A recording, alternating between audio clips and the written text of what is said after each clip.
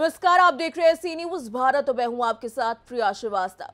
Digital युग जैसे जैसे आगे बढ़ रहा है, वैसे वैसे अपने साथ इसके कुछ दुष्परिणाम भी लेकर सामने आ रहा है, जिसके उदाहरण हम आए दिन देखते रहते हैं। कुछ ऐसा ही एक और उदाहरण हमें मिला है, इंदौर से। जो इंदौर से ऐसी खबर आई है, जो आपके रोंगटे खड़े कर देगी और आपको सोचने पर मजबूर कर देगी कि कहीं आप भी कोई गलती तो नहीं कर रहे हैं।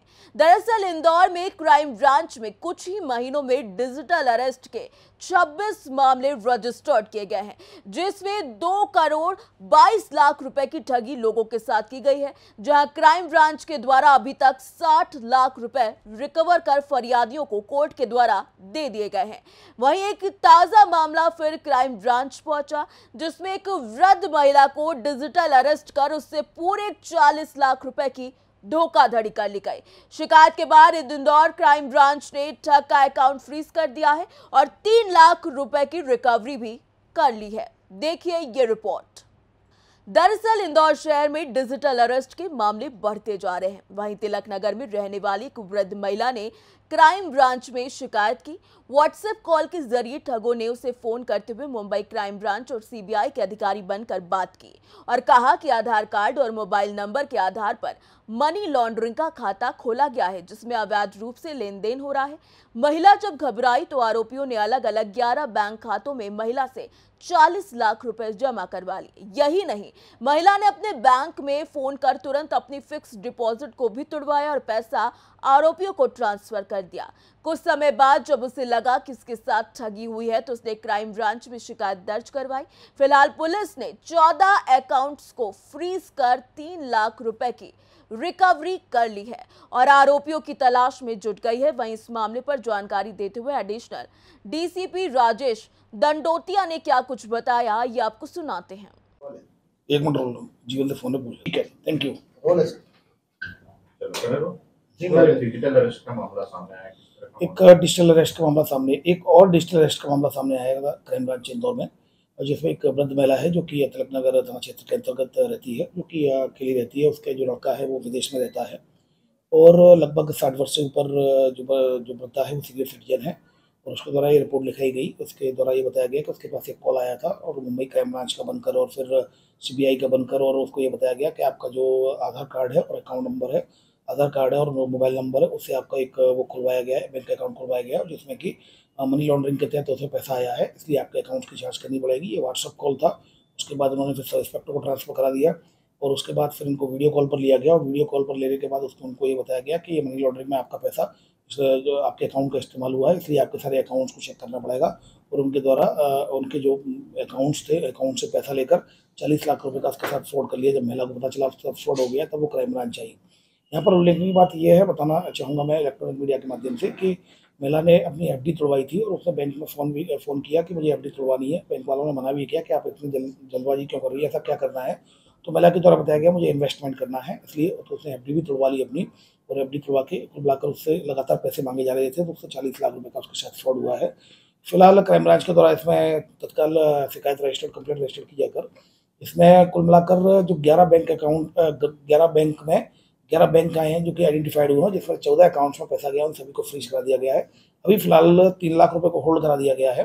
बाकी बैंक स्टेटमेंट्स आने वाले हैं तो उन स्टेटमेंट्स के आधार पर और भी पैसा इसको होल्ड कराने की पूरी वो है। इसके अलावा, इसमें टेक्निकल आधार पर जो व्हाट्सअप कॉलिंग है और इसके अलावा और भी जो वीडियो कॉल हुए हैं और जो एविडेंस है टेक्निकल एविडेंस है, इसके आधार पर भी क्राइम ब्रांच इन्वेस्टिगेट कर रही है। इसमें एफ़ आई आर की जाकर वैधानिक कार्रवाई की जा रही है। अभी तक कुल जो मामले आए हैं, वो 26 मामले डिजिटल अरेस्ट के क्राइम ब्रांच के पास आ चुके हैं, जिसमें लगभग दो करोड़ बाईस लाख के करीब उसमें पैसा फ्रॉड के साथ उनके द्वारा ठगा गया है, जबकि वहीं लगभग साठ लाख के साठ लाख के करीब क्राइम ब्रांच के द्वारा पैसे को फ्रीज कराया जाकर और पैसा क्राइम ब्रांच के माध्यम से उनको वापस कराया गया है फरियादियों को, जिसमें कि कोर्ट के माध्यम से उनको पैसा वापस मिल गया है। तो अभी लगभग साठ लाख रुपए उनको वापस करा दिए गए हैं और लगभग दो करोड़ बाईस लाख रुपए का इसमें फ्रॉड है। इसमें भी फ़िलहाल क्राइम ब्रांच में तीन एफ़ रजिस्टर की गई है, एक लसुड़िया थाने में रजिस्टर की गई थी। उसकी इन्वेस्टिगेशन भी क्राइम ब्रांच के द्वारा ही इसमें कार्य साथ मिलकर, थाने के साथ मिलकर कार्रवाई की जा रही है। इसमें एक वृद्ध के साथ जो कि महालक्ष्मी नगर रहने वाले थे, जो कि असिस्टेंट रिटायर्ड बैंक मैनेजर थे एसबीआई के, उनके साथ फ्रॉड हुआ था। और उसके अलावा एक जो बारह लाख का फ्रॉड हुआ था, जो कि एक महिला, जो एक युवती थी, जो कि डेल कंपनी में बेंगलोर में सॉफ्टवेयर इंजीनियर थी उसके साथ बारह लाख का फ्रॉड हुआ था जिसमें कि एफ़ आई आर रजिस्टर की जाकर एक आरोपी को झालावाड़ राजस्थान से उठाया गया था रजिस्टर अरेस्ट में और दो लाख की उससे रिकवरी की गई थी। तो कुल मिलाकर लगातार रिकवरी भी जारी है और क्राइम ब्रांच उसमें एफ़ करके कार्रवाई भी कर रही किया है देखिए इसमें चिन्हित नहीं होता है तो रैंडम कॉल होते हैं और कोई भी इसमें ट्रैप हो जाता है। मेरे पास ही फ़ोन आते हैं आप लोगों के पास भी आते होंगे। बहुत लोगों के पास फ़ोन आते हैं तो उसमें ये लोग लगातार ये फिशिंग करते हैं, कई मेल भेजते हैं आपको, कई बार आपको कॉल करते हैं, कई बार कॉल ऑटोमेटेड हो सकता है, कई बार व्हाट्सअप कॉल हो सकता है, और ये लगातार ये साइबर फ्रॉडिस्टर्स जो होते हैं डिजिटल अरेस्ट की बात अगर हम नहीं करें, बल्कि सभी साइबर फ्रॉड साइबर फ्रॉड की बात करें तो ये सुबह से लेकर रात तक हज़ारों एसएमएस हज़ारों लिंक आपको फिशिंग लिंक भेजते रहते हैं, उससे मैटर ऑफ़ टाइम और कोई उसमें ट्रैप हो जाता है जो समझ नहीं पाता है तो उसको ट्रैप करके उसके साथ फ्रॉड कर लेते हैं। क्या सावधानी रखना चाहिए? डिजिटल डिजिटल अरेस्ट से बचने के लिए सबसे पहली बात तो ये कि आपको पैनिक नहीं होना है, कोई भी किस प्रकार का कॉल आता है तो आपको पैनिक नहीं होता है। सबसे पहला मैं इलेक्ट्रॉनिक मीडिया के माध्यम से ये कहना चाहूँगा कि डिजिटल अरेस्ट नाम का कोई भी शब्द कानून में नहीं है। कृपया करके डिजिटल अरेस्ट साइबर फ्रॉडस्टर्स के द्वारा बनाया गया ये शब्द है और वो आपको इस तरीके से ऐसा लगता है आपको जैसे कि कानून ये कोई प्रक्रिया है। तो मैं आपको ये कहना चाहूँगा इलेक्ट्रॉनिक मीडिया के माध्यम से, डिजिटल अरेस्ट नाम की कोई भी कानून में किसी भी प्रकृति में प्रक्रिया है, नहीं कोई टेक्नोलॉजी है।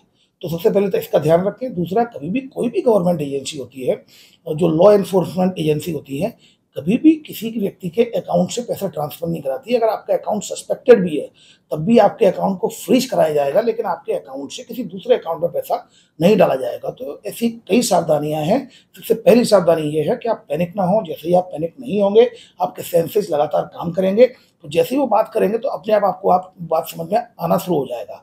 बट उसके लिए ज़रूरी है कि आप डरे नहीं।